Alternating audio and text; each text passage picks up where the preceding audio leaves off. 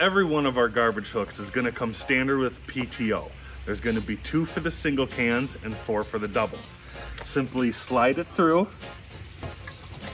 and latch it together. Now some people have complained that this is hard to get, so you can either stretch this out or we do have two other options. One option is the ball bungee. This simply wraps around the bar and holds the can in. The other option we have is the dent pin. The dent pin is the simplest, it just slides in and that's it. Simply slide it out and you're good to go. Only at Garbage Commander.